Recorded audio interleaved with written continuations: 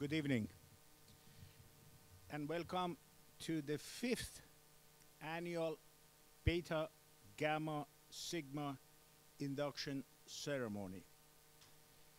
My name is Bahman Mirshab. I'm Dean, College of Business and Information Technology. It is my pleasure at this time to introduce some of our special guests joining us this evening. Congresswoman Brenda Lawrence.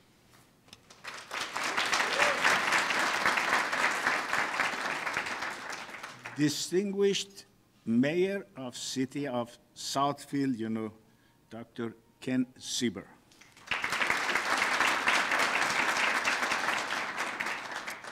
Mr. Douglas Ebert, Chair of LTU Board of Trustees, and of course, Mrs. Ebert.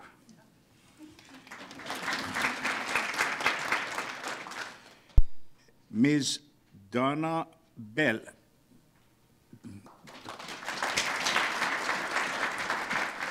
President of Ford Credit and a member of LTU's Board of Trustees.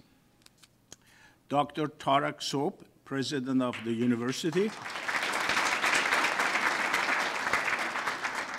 Dr. Virinder Moudgil, my mentor and President Emeritus of the university.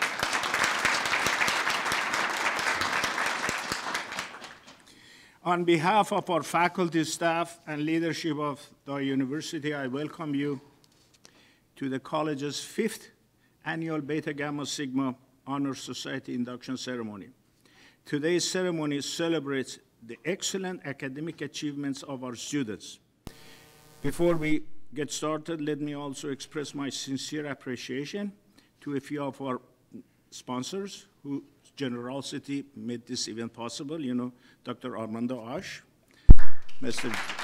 John Beebe. Mr. John Beebe could not come here tonight. Uh, Ms. Michelle de Sosa, uh, Ms. Uh, Ms. Uh, de has an event tomorrow for the governor of state of Michigan, and of course, you know, he, she has invited me to go to that house. Michelle, you know, is a distinguished member of our, I don't know what, uh, um, Mr. Scott Zorko. Scott, are you here? No? You know, CADFEM Americas Incorporation presented by Dr. Masoud Omrani. You know. Dr. Hamid Servati, and of course, you know, Young uh, the Incorporation. Will the faculty and staff of the College of Business Information Technology please stand up to be recognized? My colleagues in the College of Business.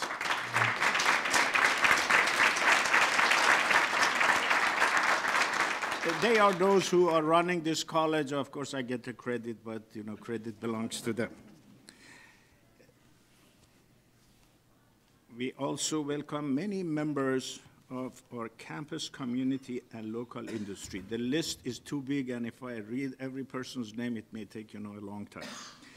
But last, not least, will the parents, family members, friends, of the students please rise to be recognized.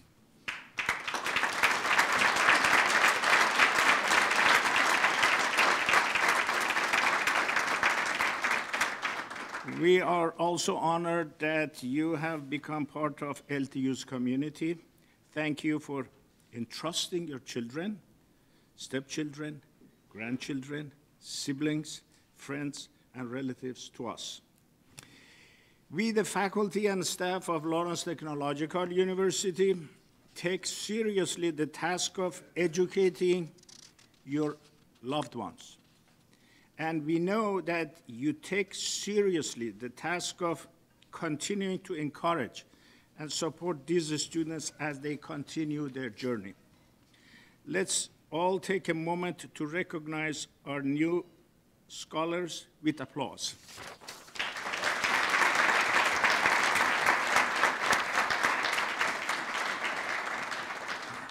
Students, you have been invited to become a member of Beta Gamma Sigma, as you have shown an outstanding aptitude for business studies and have demonstrated your work ethic and determination.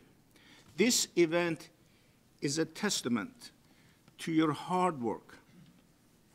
We are honored to have you join us as a new member. This recognition ceremony symbolizes your induction into a very exclusive group of top business scholars. Beta Gamma Sigma chapters are only permitted to establish at business institutions who have worked to obtain the prestigious AACSB accreditation.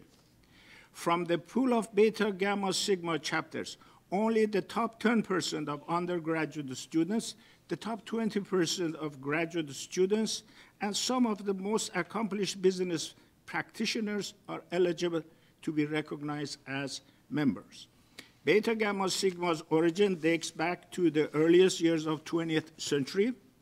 During that time, business students were largely excluded from consideration for other societies, recognizing, recognizing academic excellence. As such, three student recognition societies on the campus of University of California, Berkeley, University of Illinois, and University of Wisconsin came together in 1913 to establish a national organization which was named Beta Gamma Sigma.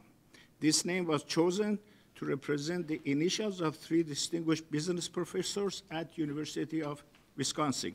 103 years later, Beta Gamma Sigma is the largest organization in the world honoring business student graduates internationally.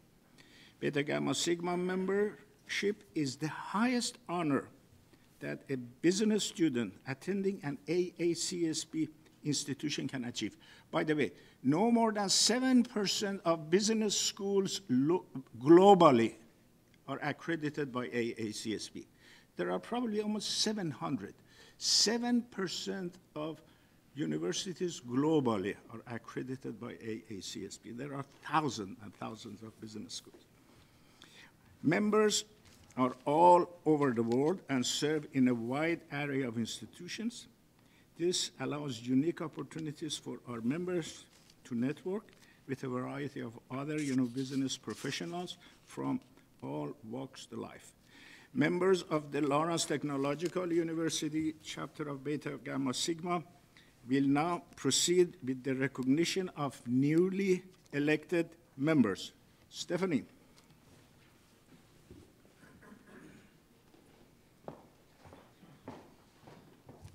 Dr. Mirshab, I present these candidates for membership of Beta Gamma Sigma this year.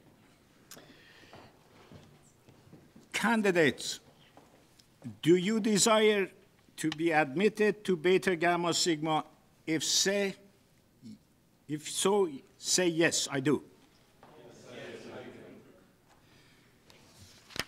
do. You have been honored by an invitation to membership in Beta Gamma Sigma because of what you have achieved in scholarship and service. We are honored to have you join us. Beta Gamma Sigma is a scholastic honor society dedicated to principles and ideals essential to worthy life as well as the commendable business career. The mission of the International Honor Society is to encourage and honor academic achievements in the study of business, to foster personal and professional excellence, and to advance the value of the society and to serve its lifelong members. The principle of Beta Gamma Sigma are presented by three Greek letters, the initials of which are our societies, Beta, Gamma, and Sigma. Here now, what beta com means to us, given by distinguished mayor of city of Southfield, who was inducted into Beta Gamma Sigma three years ago. Mr. Mayor.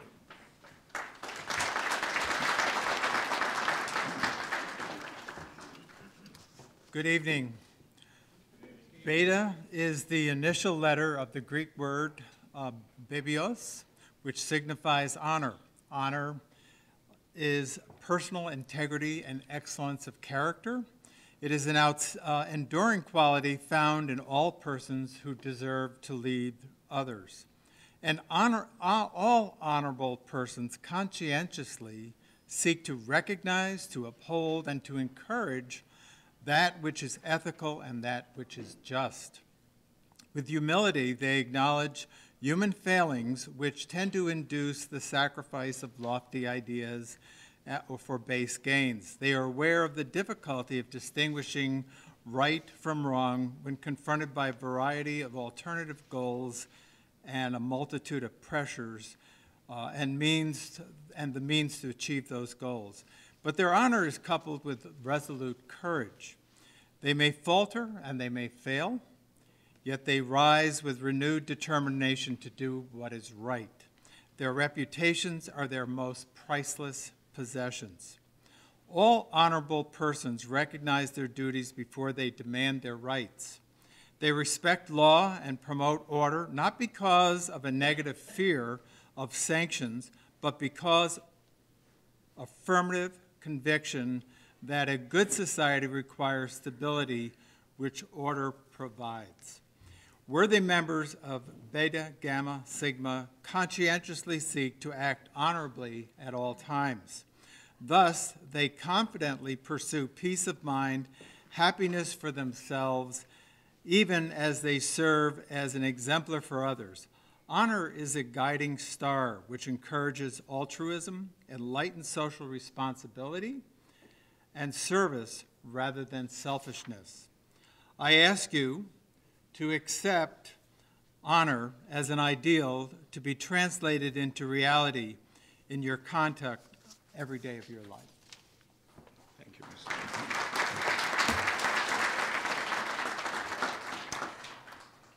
Listen now to the explanation of gamma by Mr. Sanad Avram.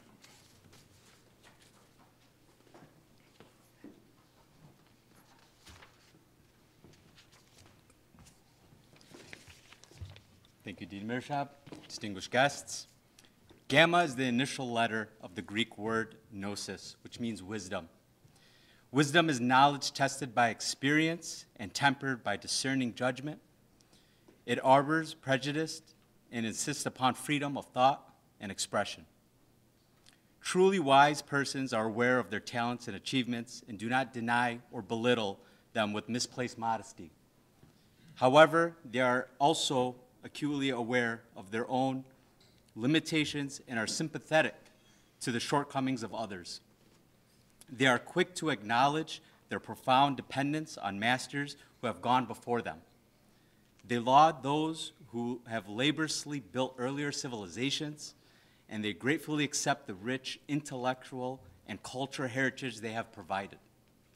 They are moreover thankful for the contributions to their development made by family and friends, by superiors and subordinates, by associates and antagonists.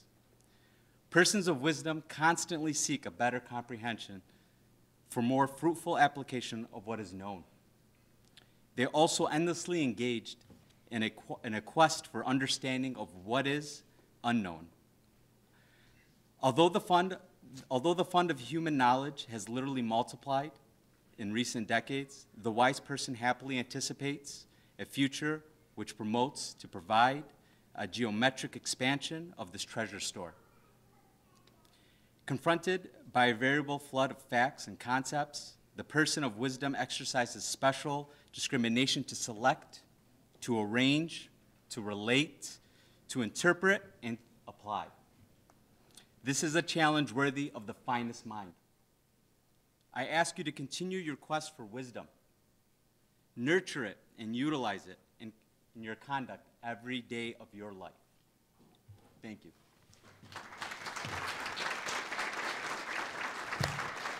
Listen finally to the explanation of Sigma given by Ms. Lydia Michael, President of Beta Gamma Sigma chapter in Michigan.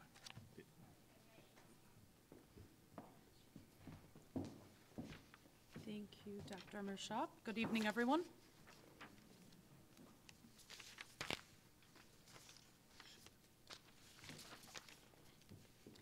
Sigma is the initial letter of the Greek word spoude, which means earnestness. Earnestness is enthusiasm measured by achievement, disciplined by reason, and ennobled by sincerity. It is that dynamic quality which is essential for all great achievement. Earnest persons reject both temerity and timidity. They have courage to match their convictions. They inspire confidence, confidence, invite action, and generate progress. Without earnestness, both honor and wisdom lose much of their potential effectiveness. Noble purposes, defined with wisdom and upheld with honor, remain evanescent dreams without the driving power of sensible enthusiasm. The greatest personal achievements are tributes to the blending of honor, wisdom, and earnestness in the minds and hearts of those who lead. Rewards for the individual and progress for society surely proceed from this wholesome union of qualities. To each of you, much has been given in mind and body and spirit. Of each of you, accordingly, much is expected. Earnestness will help provide the perseverance that dispels weariness, the forward thrust that overcomes opposition, and the resilience that rebounds from reverses. To the earnest person, problems become opportunities for service and for profit. I ask you to accept earnestness as a guide and stimulant in your personal conduct every day of your life. Thank you.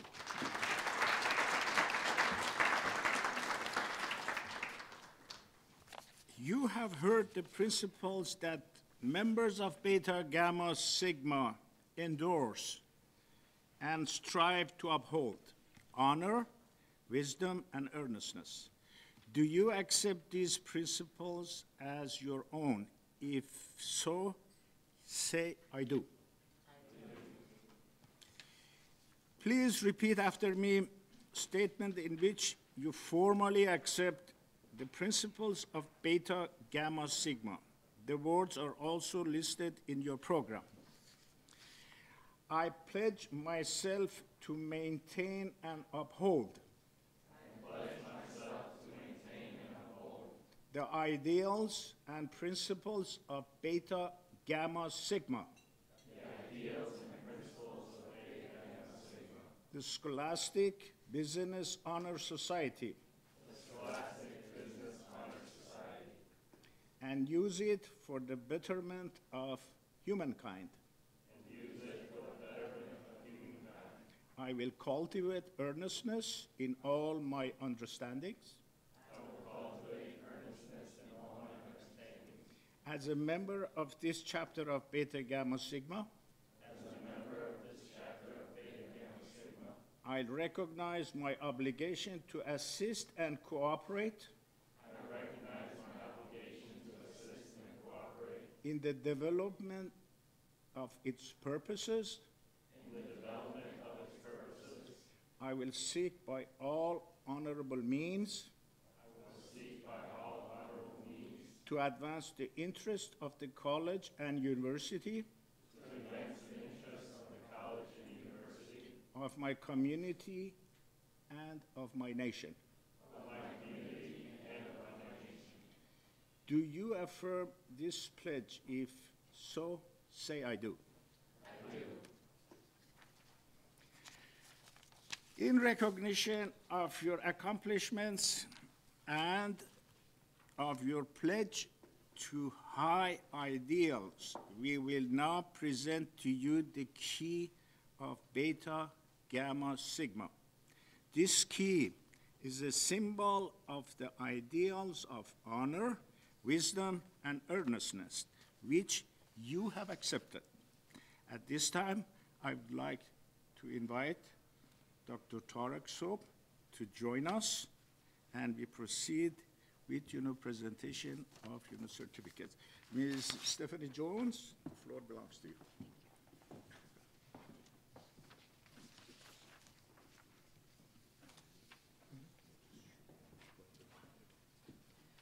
I'd also like our readers to come up to help present the awards, Lydia and Senate and uh, Mayor Siver.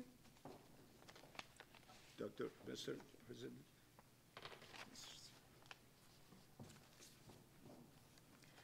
So at this time, I will call each person by name. You will um, stop at the table with Mina and Claire. You'll receive your certificate, your PIN, which is your key to Beta Gamma Sigma, your cord, and then you'll head over here to take a photo with our distinguished guests. And if the honorable members would stay um, up on the stage to help present the rest of the awards, that would be great. Thank you. So we will start with the Honorable Brenda L. Lawrence.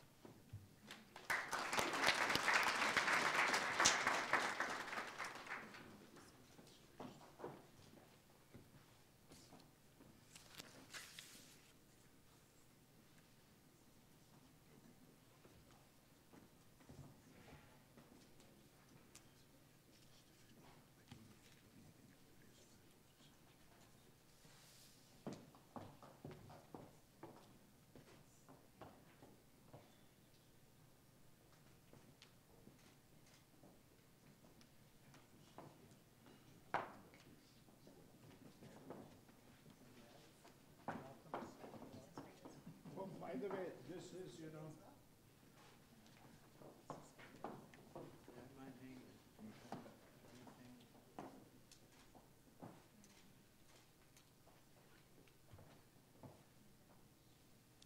And next is Dr. Douglas E. Ebert.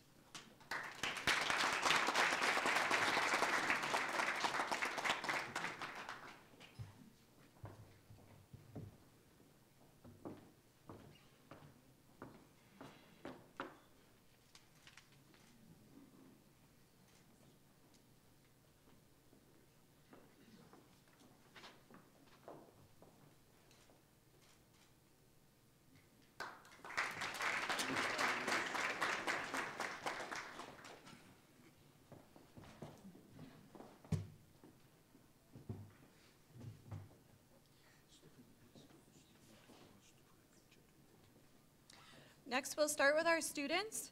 You will pause for a photo over here after you receive your cords, and then you can go sit down at your table. Joshua Aker.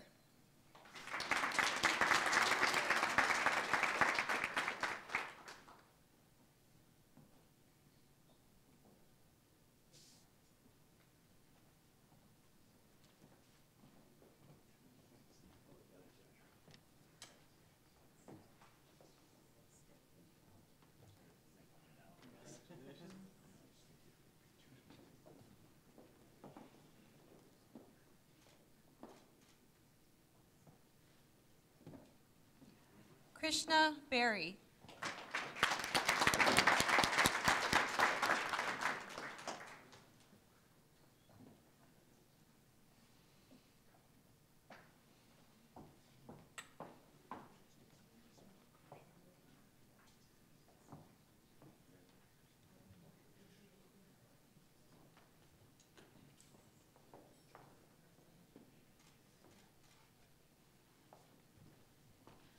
Lyndon Kamaj.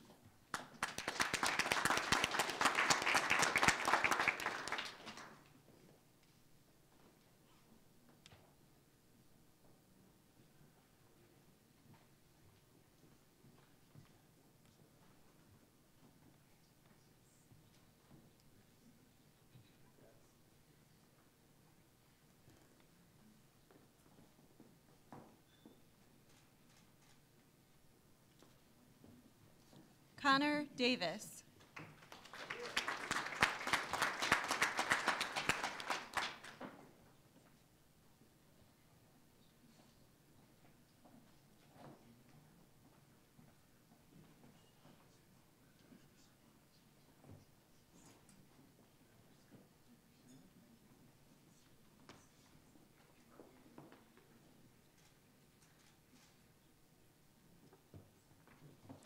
Brett Dulecki.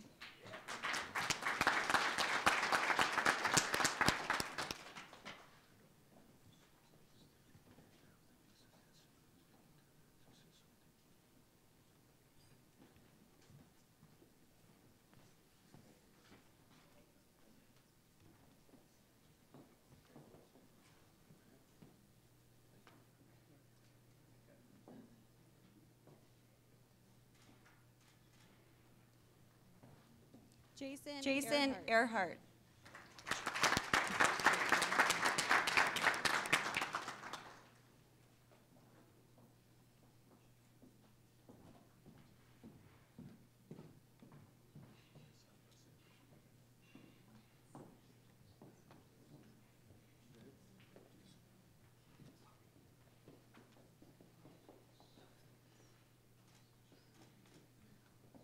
Yusuf Yusuf Haddad. Haddad.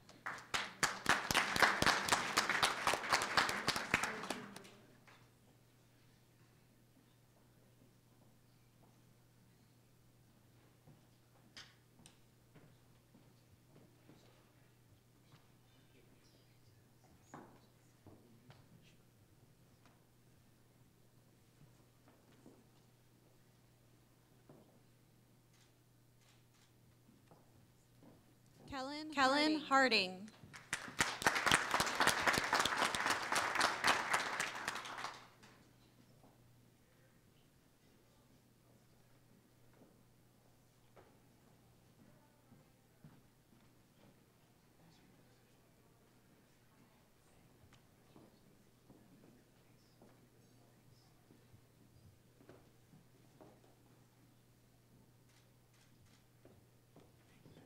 Madeline Madeline Hudson.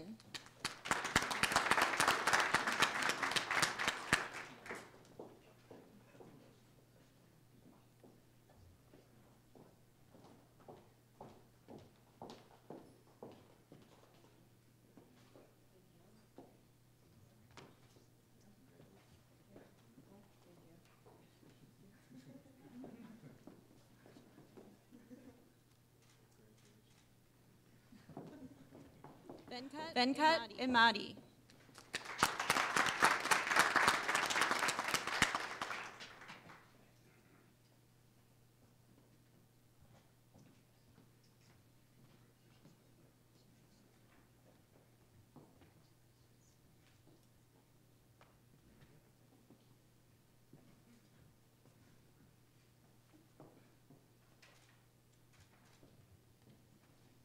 Christina Christina Montemayor.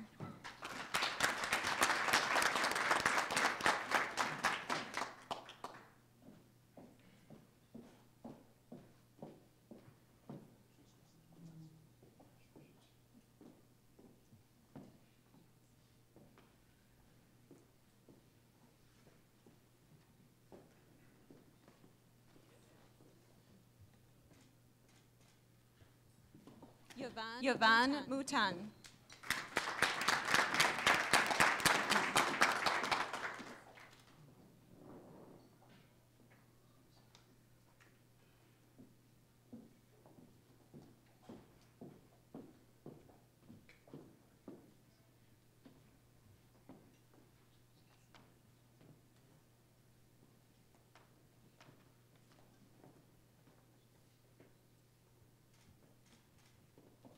Grant Grant Mueller. Mueller.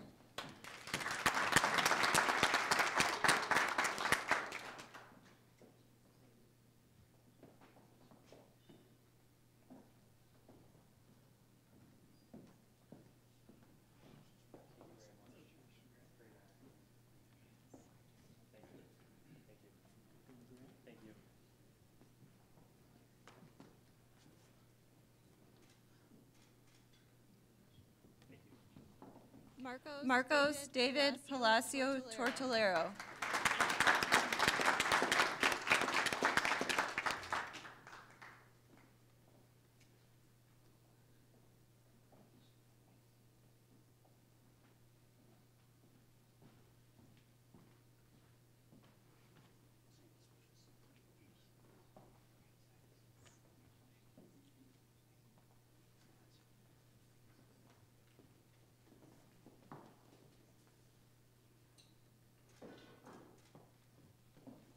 Michael, Michael Perticaro.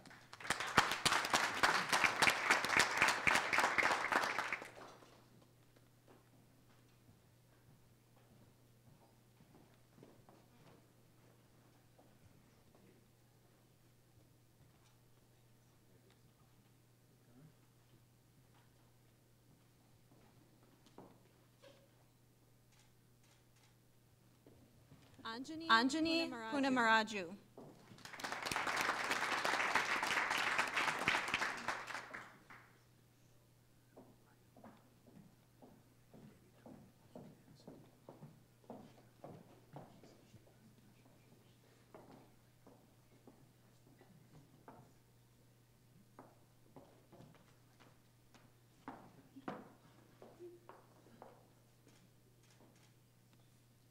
Shelby Shelby Rash. Rash.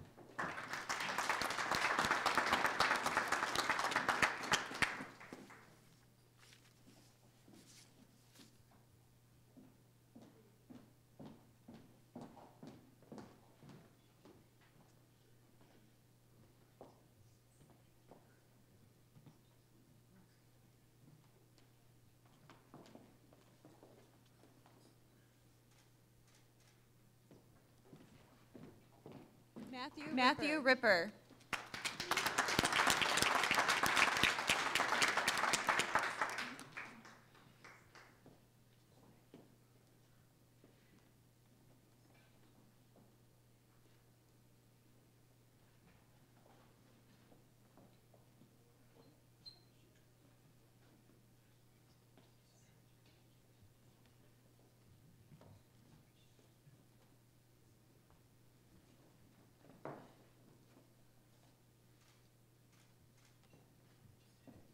Noah Noah Rodriguez. Rodriguez.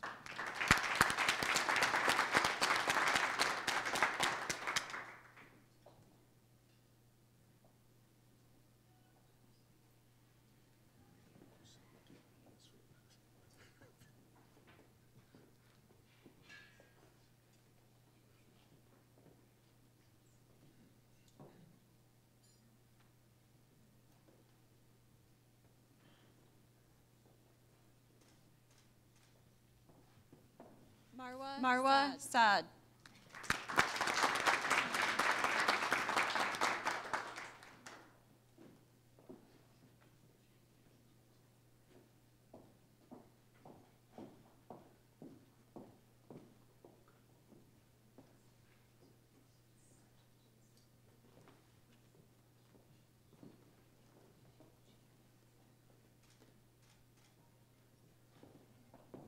Basma Basma Samkari. Samkari.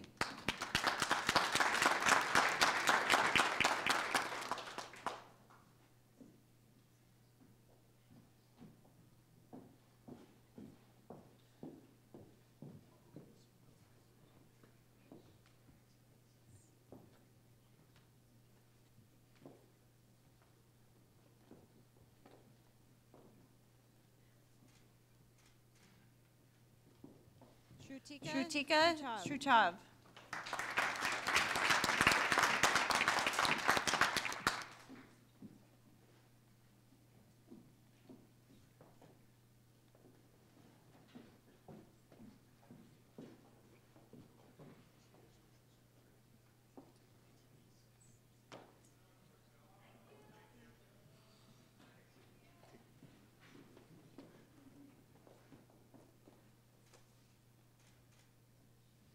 Nicole Nicole Waldenmeyer. Waldenmeyer.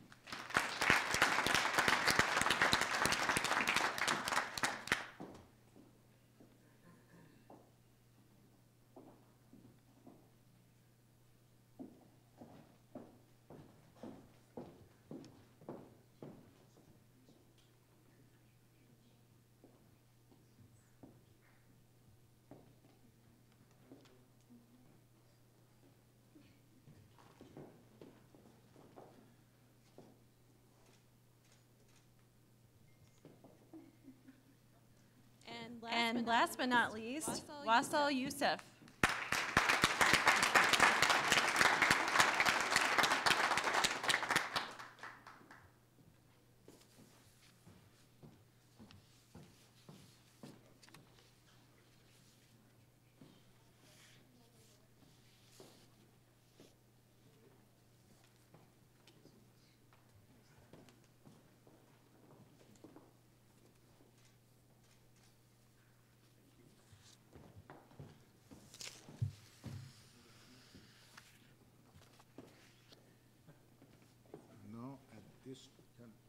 Thank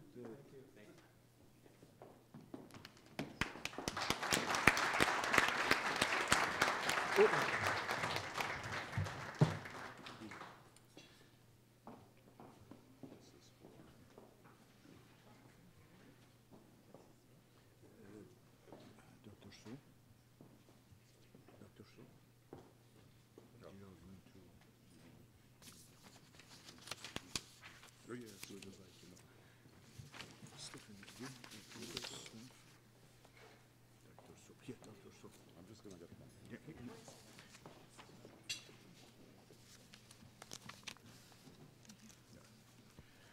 At this time, I'm going to ask President of Lawrence Technological University, Dr. Tarek Sobh, to come to the podium and, you know, introduce, you know, Mr. Doug Eberts, who is gonna uh, give his uh, remarks before dinner. Dr. Sobh?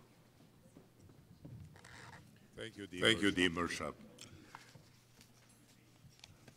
Douglas. Ebert has served on Lawrence Technological University's Board of Trustees since 2006 and as chairman of the board since 2014. He also chaired the board's finance committee from 2006 till 2014, and in 2012 led the university's presidential search that resulted in the selection of Dr. Virinder Moudgil as LTU's seventh president and CEO.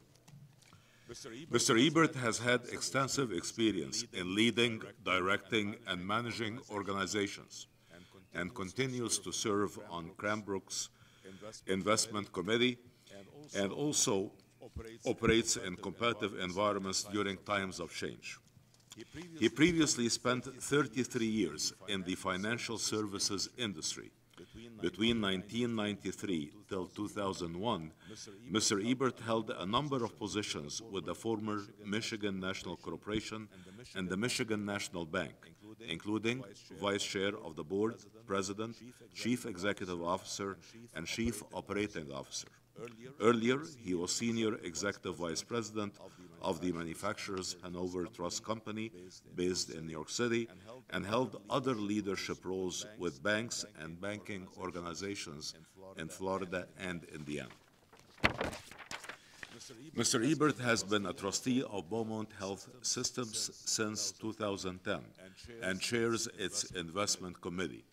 He has served on many other community boards, including the American Heart Association Heart Walk, Citizens Research Council of Michigan, Detroit Economic Club, Detroit Regional Chamber of Commerce, and the Skillman Foundation.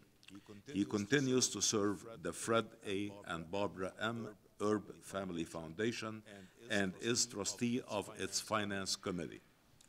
He is also a trustee and member of the Executive Committee of Trinity Pawling School in New York, where he is active in several other committees of the board. He is a graduate of Williams College in Massachusetts. Mr. Ebert has devoted a significant part of his life to improving education. The reason, he says, is that the global competitiveness of the U.S. is at risk if our educational system, from pre-K to the graduate level, fails our students. I had the benefit of great teachers and administrators at both the secondary and primary levels during my educational years, and I hope to be able to help ensure that LTU continues in its leadership capacity. On a personal note, uh, I would like to express my thanks and gratitude for Doug's help and uh, his support during my transition from Dr. Moudgil's presidency to my own. Now, I invite Mr. Ebert to give some remarks to our students. Thank you.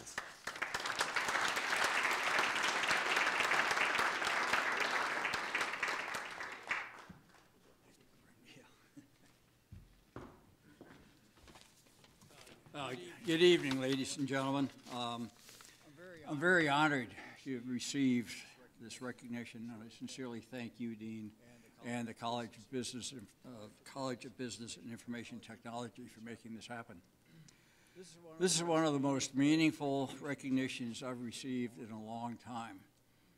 With the possible, not with possible, but with the exception when my three and a half year old grandson looks up and says, I love you, Grandpa. That, obviously takes the cake. I applaud this year's inductees. Uh, It's a wonderful, wonderful achievement that all of you have uh, been recognized for, and I know this will continue. I assure you that the- the education that you're receiving here at LTU, thanks to your terrific, dedicated, passionate faculty, will prepare you extraordinarily well for whatever road you choose to follow as you go on through post-graduation from Lawrence Tech. I'd like to share some thoughts with you based on my nearly 60 years in, in the business community in one form or another that I hope might help you be- think a bit about your future and what might be important to you as you go forward. I'll keep this brief because I know I'm the last thing between you and dinner, uh, and my comments are shorter than the introduction that Dr. Sobh just provided. You're very welcome. I believe one of the keys to success in a career, and I don't care where it is, what it is, whether it's a career you start with and change to something else or something that you stay with, one of the keys, I believe, to success is passion. You have to really care about what you are doing. You have to love it. Um, I spent a lot of time traveling internationally uh, for one of my earlier institutions. Probably half my life was uh, spent overseas. And I loved that part of it. It was in 155 countries um, during that period of time. But what kept me going was the joy of what I was doing, the, the, the sense that I had that I was creating something of value and adding something to the world in which I was, was working. There's an old saying that if you love what you're doing, you'll never work a day in your life, and I think that is absolutely true.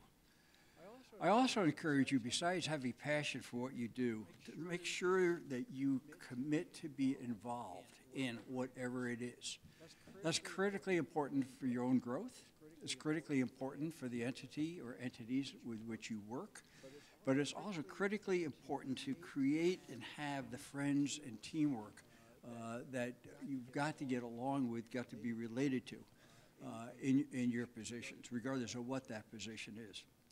Very few jobs can be done in isolation, and even fewer friendships can ever be created and maintained in isolation. So you really need to make sure that you're reaching out to those that are around you and to be part of and work with them as well as support them. My next point is balance. Now, this might seem contradictory to what I was just saying about passion and involvement and commitment, but you also need to have a balance in your life. Your, your careers, your positions should not be all consuming.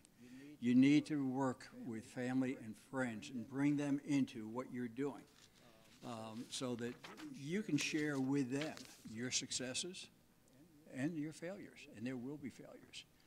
Because it's those people, your family and your friends, that you bring into the balance that will help you work through your successes and your failures. And they will not judge you uh, because they are your friends, they are your family. Rather than judge you, they will be supportive and they will encourage you. Keep learning. Theory and practice is our motto here. Once you get out of here, you, the theory becomes practice, but you have to continue to learn in that, that world. The world keeps changing on all of us. And if you continue to see the world around you the way everybody else does, without recognizing what is changing, you're going to be stuck. So you had to keep learning, you had to keep your eyes open, your minds open, and figure out how can you change your world perception at the same time as you also help people around you change their views of the world. And that's what will make you great leaders in that process. And finally, integrity. Nothing survives if you are not of the highest integrity, the highest principles in whatever you do, wherever you go, and whoever you are with. That is who you are. That is what your character will be. So always maintain your integrity in spite of anything, any roadblocks or any challenges you may run into. Maintain that personal integrity. I'd like to finish with a very short quote from Winston Churchill. And he said, Success is not final, failure is not fatal. It is the courage to continue that really counts. So, thank you very much.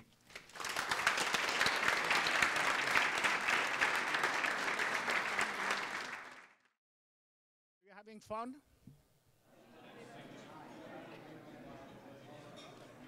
Okay.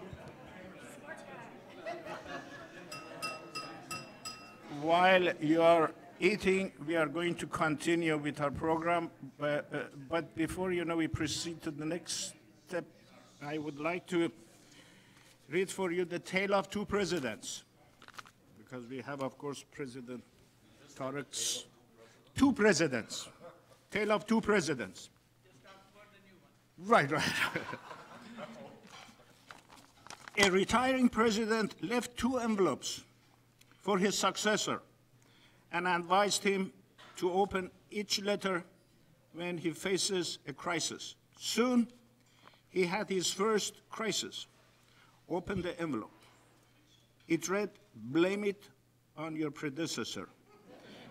The second crisis emerged, and he opened the second envelope. It read, Prepare two letters for your successor.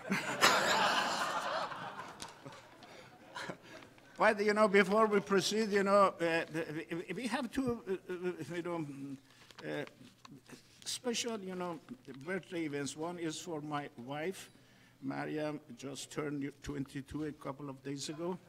And then, you know, uh, also Dr. Servati. So today, you know, I went, you know, I bought that cake from Shakila. And what I'm going to do is to just, you know, say happy birthday to Mariam and Dr. Servati. I didn't buy enough for everybody, but, you know, you know where you can go to buy that.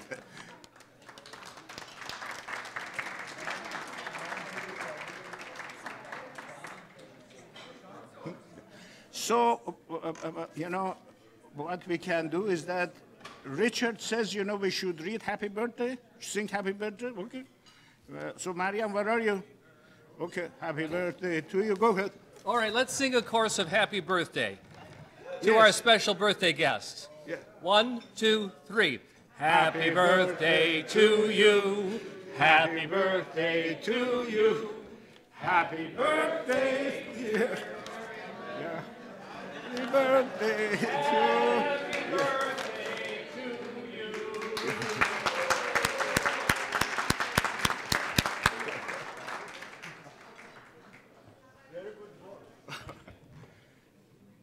By the way, the cake, you know, I purchased from Shakila in um, uh, Dearborn. So if you really want, you know, really good cake, go there. At any rate. Now, it is my distinct pleasure to ask uh, our president, President Tarek Sobh, to step to the podium and introduce our keynote speaker, Honorable Ms. Brenda Lawrence.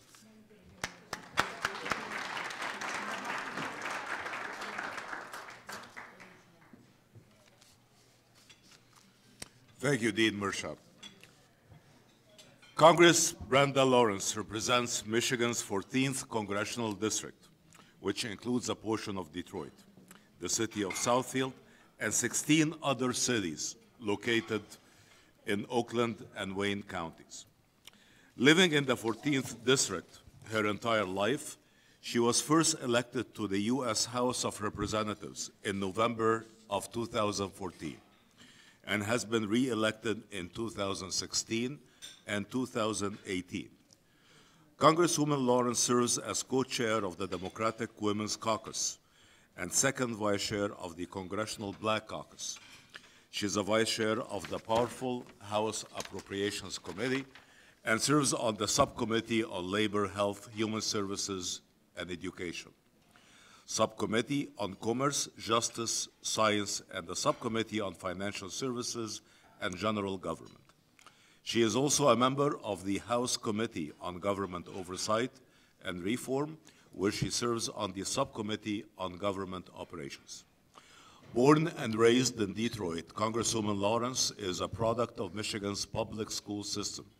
She's an alumna of Pershing High School and earned her bachelor's degree in public administration from the Central Michigan University. Before she began her career in public service, the Congresswoman had a notable career with the U.S. Postal Service. In November of 2001, Congresswoman, the Congresswoman was elected as mayor of the city of Southfield. She was the first African American and the first woman to serve in that position. She previously held on the South Southfield City Council, where she was elected president in 1999. Additionally, she sat on the Southfield Public School Board of Ed, where she served as president, vice president, and secretary. Congresswoman Lawrence and her husband, MacArthur Lawrence, are the proud parents of Michael and Michelle. They also adore one granddaughter, Asia. Uh, Congresswoman Lawrence knows very well that our university is named after her, and uh, and I came to understand and know that like the second day that I arrived uh, at Lawrence Tech, and it's truly my honor and pleasure to introduce Lawrence Tech's one of Lawrence Tech's best friends and my own personal best friends, Congresswoman Lawrence, please.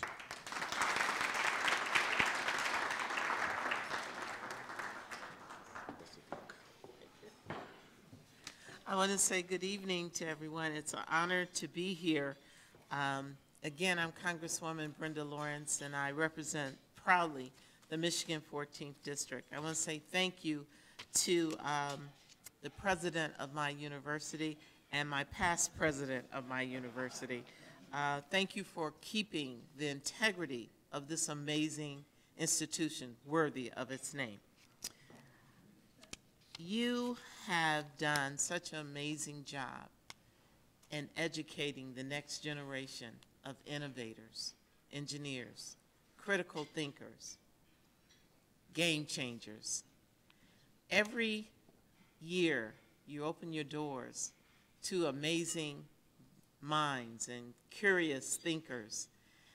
And I'm so proud to have served this community in multi-levels of responsibility in every step along the way, from K through 12 school board, knowing that Lawrence Tech was sitting there ready to open their doors to our students, to serve in the city council, where we partnered in the development and growth of the amazing campus of LTU, and now as a member of Congress, where I have an opportunity to direct federal, federal dollars and programs to partner with this amazing place of learning to embrace you.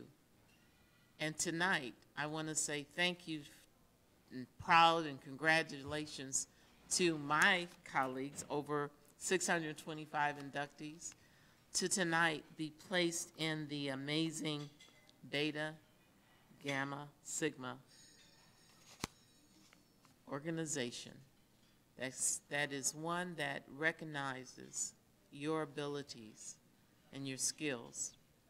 I just want to say a few things to you today. I want to quote one of the founders of the organization, which I'm now proudly a member of. Success is not measured by income, although often the question when people meet you will be, well, how much do you make? It's not measured by income, but by influence. Because it's the person who can make change, positive change. You can have all kind of money and income, but every single day of your life, you're creating a legacy. And if I could quote my grandmother who told me, if you wake up every morning, and she used to use this simple term, and you wake up in your right mind, and as you get older, you understand the value of that. And you're breathing, and you can think, and you can speak, there's work for you to do. So some people chase a dream, and in America, we're so great that if you chase a dream and apply all your skills and talents, guess what? You will be rewarded for that. So the, your objective, I will say humbly, is where can you walk where others haven't? Where can you influence or use your voice where others have been silent? That's what power is, especially in these United States of America. And success is not measured by power, but by personality. You know, you look at some people and say, how in the world did they get there? You know, I probably have a 4.56789, and they only had a 3.1. But they're really excelling. It's people want to be heard, they want to be respected, and they want to be included. And when you learn that, you build a team, you embrace others, and you form this team that will do amazing things because you empower them. When I lecture or talk to people about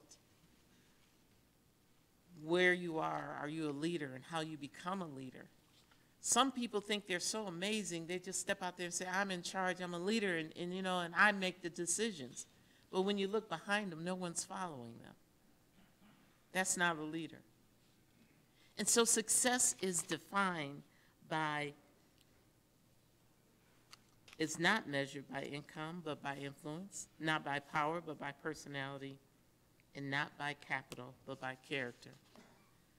Tonight, when we were talking about inducting and taking the pledge to be a part of this organization, we talked about character. Now, you've heard the, the term, what you do speaks so loud I can't hear a word that you're saying.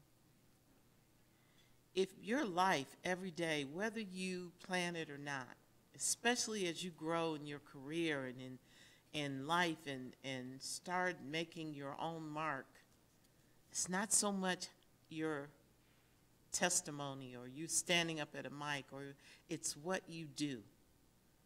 It's your character. When no one's watching, what do you do? Some people are great on camera, but when you turn the camera off, the real person shows up. But understand someone's always watching. And someone that, sometimes that person watching is the one that holds the key to your future. So, character, you are who you are. And I'm not telling you who you should be, but your character means something. I, um, I often think about in politics, politicians are great orators. You know, we can get to the mic and we can speak and do all those things. But the greatest compliment that I got when I announced that I wasn't running for reelection, I can't say senior anymore because obviously I'm a senior, but a lady older than me called me up and she said, I'm so proud of you. I really hate that you're leaving, but you know what I'm most proud of? You never embarrassed us. And you showed up when we needed you. You took our calls. And when you were in Washington, D.C., and I listened to you, you were talking about what we needed. She said, You never embarrassed us. That meant so much to me because at the end of the day, I'm a public servant, and that's what I want my legacy to be. Those of you who are so young, it's so hard for you to think about legacy. But every single one of us, whether our career is picking up garbage or designing the next flying car, which I'm counting on you all to do. I say this every time I speak.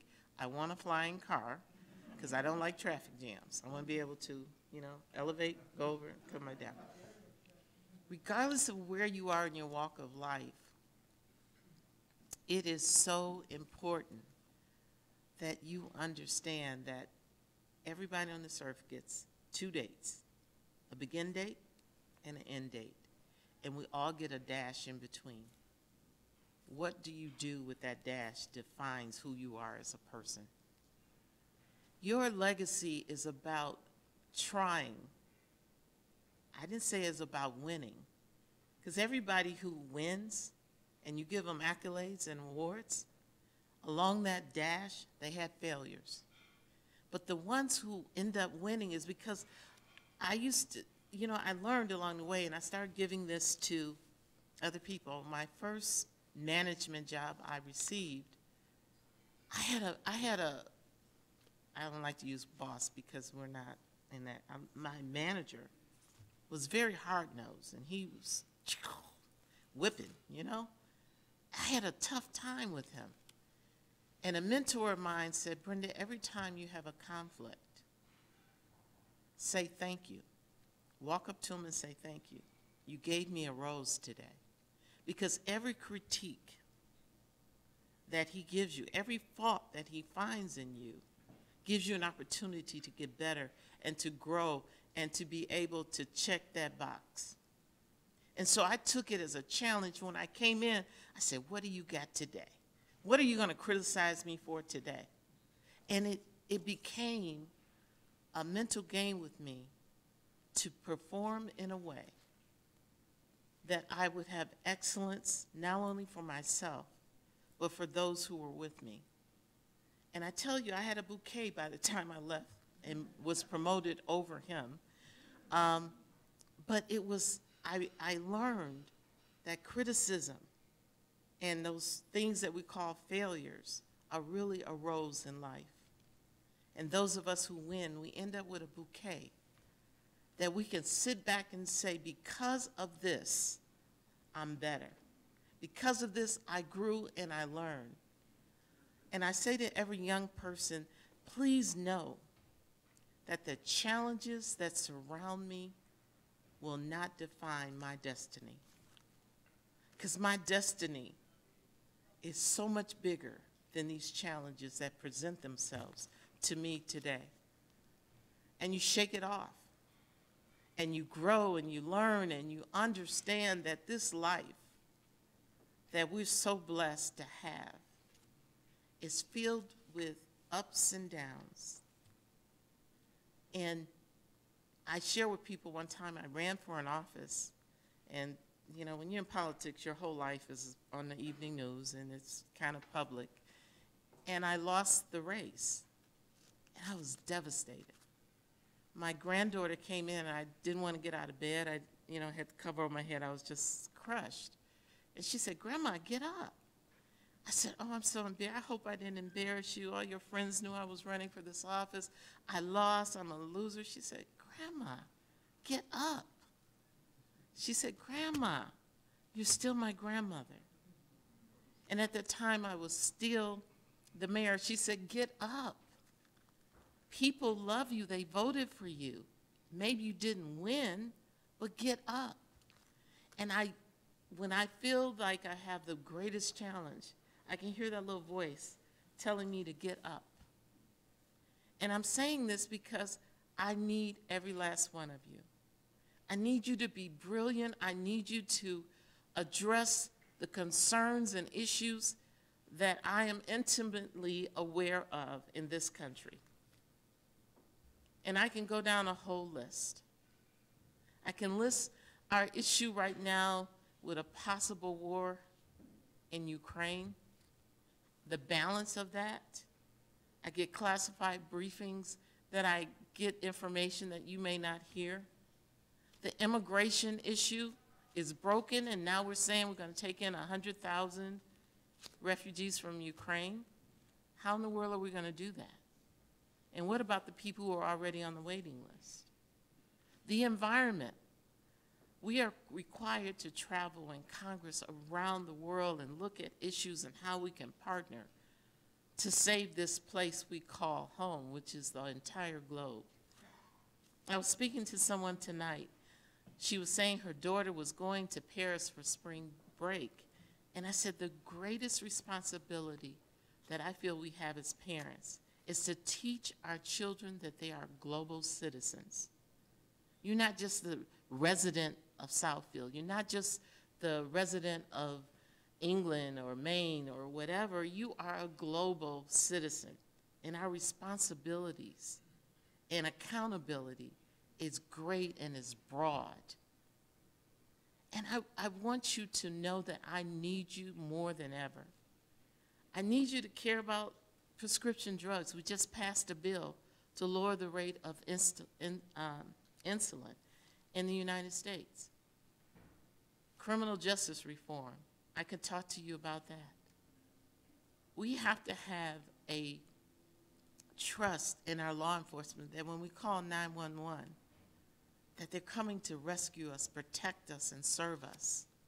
and not have a fear that I'm calling the person that's going to take my life. We need to talk about gun violence in America. How many babies in our schools do we have to bury before we understand that we have a health crisis in America with gun violence? We have so many issues. But as I look at the issues, I want to tell you that this America that we call home has the greatest democracy in the world. And I often tell people, I love America, even though she didn't love me back. I, she didn't love me because I was a woman. I, what, I didn't have the right to vote. I couldn't own property in my own name. I couldn't, at some point, I couldn't even get an education.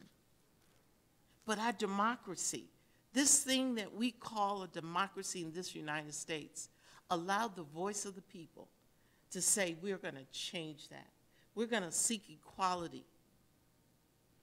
She didn't love me because I was African American and denied me rights and freedoms. And people marched, died, and, and protested till we got a democracy that lifted and opened the doors. And when we look around the room at this amazing diversity that we have in the United States of America, it makes me so happy. It sends me the energy I need to fight and protect this democracy. And I'm just going to close with this. The fact that we can educate our children in America, whether we have an income of $30,000 a year or homeless, the right for our children to be educated, and then to have an institution like Lawrence Tech that not only educate, but take brilliant minds and just nurture and massage them and create this level of knowledge for me. It's creative. It's taking me beyond where I am today. So I count on you. I'm always glad when I see the women standing with the men. I'm excited when I see the diversity of cultures and religions coming together on a common umbrella of education. And remember the value of those who did not walk your same path. Respect that. Because as this world continues and this America continues to evolve, diversity and respect of it is the only way we will survive. I want you to know that I fight and I believe in one nation under God, indivisible, with liberty and justice for all. And I believe in that. I fight for it every day when I go to Congress. And I thank you in advance for what you're going to do. And when I get the keys to my flying car, I'll write an article in the paper thanking all of you, because I may not know where you are, to say thank you for that. God bless you, and thank you.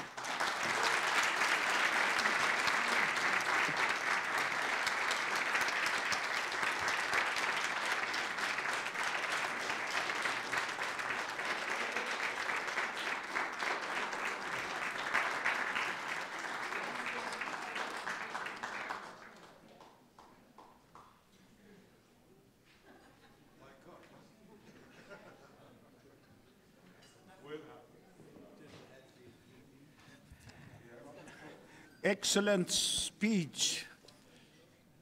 Magnificent. Uh, uh, we are fast approaching the end of the ceremony, but uh, first, you know, I'm going to ask, you know, Lydia, come before, you know, our president gives, you know, uh, the closing remarks as president of, you know, uh, Beta Gamma Sigma Michigan, you know, come and, you know, just, you know, briefly mention what you want to do, and then, you know, President Tarek Sobh will come, you know, to give his, you know, the closing remarks.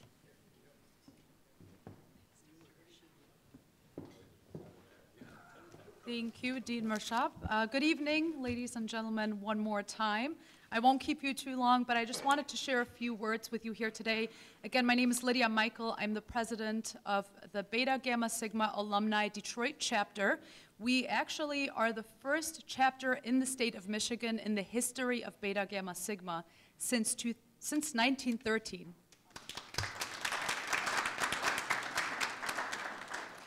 Really excited about this as we grow the chapter, and of course, a big part of it is connecting with the univer- universities across the state, one of them Lawrence Tech University. So, thank you for your dedication and your support really since the first day that we've connected. I want to share a little bit more with uh, the students as well, as far as the background goes of creating this chapter and really talking a little bit more about your involvement. And so, going back uh, many, many years ago, I won't date myself, but I was a student at Wayne State University, and one day I received a letter in the mail inviting me to join Beta Gamma Sigma. Not really knowing what Beta Gamma Sigma was about, I saw that it was about, I think, 50 or $60 at the time to join. I didn't know what that entailed, but I read that I was going to be a lifetime member. And so I thought that that would be a great opportunity to just join and become a member and be able to put that on my resume. So I did. And I was an inactive member for many, many years. Uh, there was no engagement at the time. There really wasn't much involvement with Beta Gamma Sigma. And so all it was at the time for me was just a title on my resume. And so years later, when I decided after working and, and deciding to go back to Germany, which is where I was born and raised, to do an international MBA program, I received another letter in the mail towards the end of my program. And that letter again invited me to join Beta Gamma Sigma. And I thought, that sounds familiar. So, exactly. Well, 10 more dollars because I was then in grad school. And so to join a second time, and not knowing that you could join a second time in grad school, uh, I paid another $10 and decided to just join the ship again. But that time it was different. It was different because here I was in a completely different country, in a different continent, and I realized how powerful Beta Gamma Sigma has to be. The fact that I was able to join the same organization in the United States and several years later in Germany had to mean something. And so I started doing a little bit more research. I started to get engaged with the chapter in Germany. And upon the return to the US, I wanted to become a little bit more involved. And so I reached out to the Beta Gamma Sigma headquarters and I inquired about a group or a chapter that existed here in Michigan, wanting to, again, get involved in the community, looking for a job, all of those great things. And I was told that at the time, there really wasn't a chapter available, but that if I was interested, I could start one. And so I said, okay, that's a great, great way to start looking for a job, which later turned into me really building my own business, which is a multicultural marketing and brand consultancy today. But at the time, I thought that's a great opportunity to just connect again in the community, meet some new people, networking. And so I started a networking group in 2018. And a year later, we were able to form an official chapter. And so the president of Beta Gamma Sigma at the time came out to Michigan, and we became an official chapter in 2019. So a few years later, here we are. Um, Nawar Georges, Sanet also, who are both university liaisons, really helping us grow the chapter. We have a few more people of our leadership team who are not here today, but who send their hello. And we're really working hard to make this a success because networking matters, and as Brenda Lawrence said, being a global citizen matters. And we really want to connect with the students here today and let you know that there is more to Beta Gamma Sigma than just the letter in the mail that I had received back in the day. There really is value to this. Again, I was able to connect with the chapter in Germany. We have since then uh, hosted events every single quarter since we've become an active chapter. And so we host events around education. We bring in different guest speakers around topics. But we also have times where we just want to meet each other and learn more about what we do and sort of just connect with each other, right? And so those are the times that are really valuable, that are allowing us to grow our network, to be able to give back to each other and really make this not just a local or regional chapter, but really something that is global and that doesn't have any limits. And so to all of the students who are here today, I ask you to do one thing before you leave. If you can take out your phones and send an email to our chapter, it's BGS Detroit Alumni at gmail.com. And just send us a quick note that you've joined as a new member and we will make sure to add you to our local list and keep you updated on, updated on all of the events and happenings that are taking place. And the reason being is our goal is to really create a gap, or to bridge the gap, sorry, to bridge the gap between the student chapters and our alumni chapters. We want to make sure that you are now becoming engaged and really understanding the value so that by the time you graduate, you already know what Beta Gamma Sigma is about. You continue to engage with our alumni chapter and continue to grow with that chapter and know that there is a home outside and after the student chapter that you're now a part of. So again, that's bgsdetroitalumni at gmail.com. Feel free to email us, connect with us, and we hope to see you at one of our events. Thank you so much.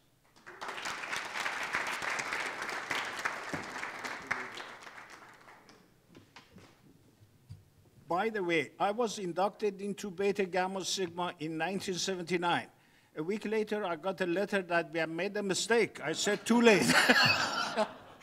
Dr. Tarek Sobh, you know, could you please step to the podium and, you know, give the closing remarks? Just a very quick remark. The Congresswoman mentioned the flying cars, right? I mean, that's the hope and the aspiration for the future. There is a company called Terrafugia in Massachusetts that actually has produced a flying car. And believe it or not, two of our mechanical engineering students have gotten job offers there last year. So uh, it's kind of really fascinating, really fascinating. Uh, it is actually the only flying car uh, manufacturer in the US. Uh, there is another two. Two of them are in Slovenia and one other country in Europe, but in the US, that's the first one. Um, as my predecessor always used to say, Dr. Moudgil, you put a professor in front of a microphone and you need the fire marshals to take her, her or him out. And I know that I'm the only one standing between you and going home and relaxing for the night. But I can't resist myself, but well, I'm kidding.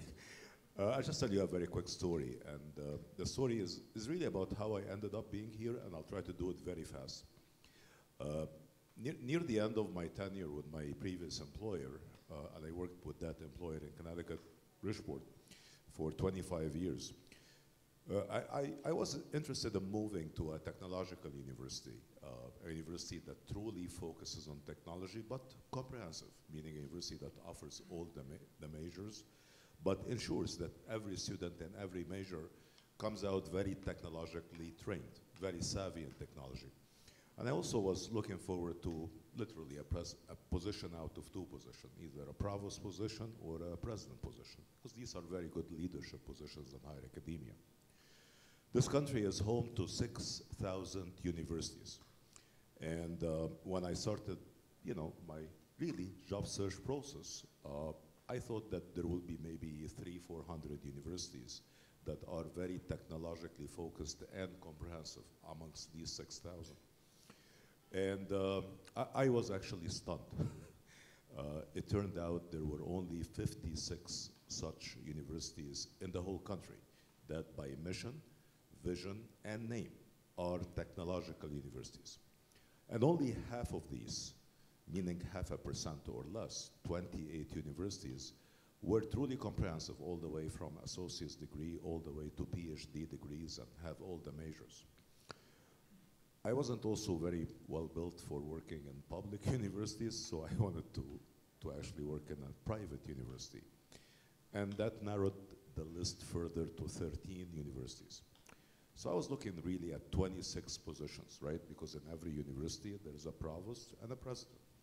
And of course I gave up, right? Because usually presidents and provosts stay a very long time and there was no openings.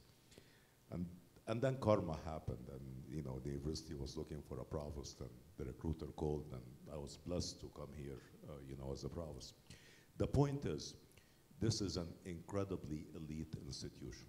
Lawrence Tech is one of less than a quarter percent of universities in the whole country that are technological, comprehensive, and private. We are in the company of great universities like Lawrence Tech, including the MIT, Caltech, RPI, WPI, and six others, and that's it. Even more. This is one of very few universities, even within this exclusive club, that is so intimately close to industry with amazing internships and co-ops and wonderful opportunities for our students to have experiential education before they graduate. Highest income per graduate in all of the Metro Detroit region area, and also probably one or two in the whole state in terms of graduating salaries. Um, we're all, I am personally very blessed to be here. Uh, I felt home from day one. Uh, our students are absolutely the best, 100%.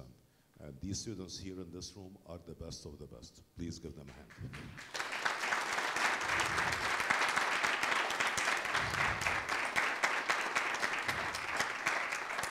Our students, Congresswoman, will be working on flying cars and nanotechnologies and autonomous cars and uh, uh, 3D printing of houses and analytics and business intelligence and incredible jobs of the future. And they'll be working on careers and job titles that don't even exist yet. That's what we do here. And again, congratulations to all our students. Congratulations to our other inductees, Mr. Ebert and Congresswoman Brenda Lawrence. Thank you all. Have a wonderful night and have a safe drive home. Thank you.